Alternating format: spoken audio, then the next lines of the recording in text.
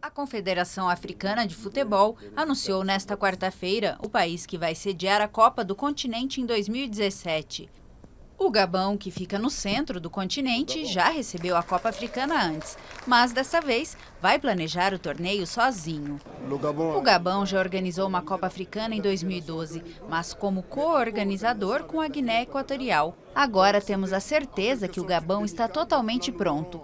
Temos quatro locais selecionados e todos eles prontos para sediar o Campeonato Africano das Nações em 2017.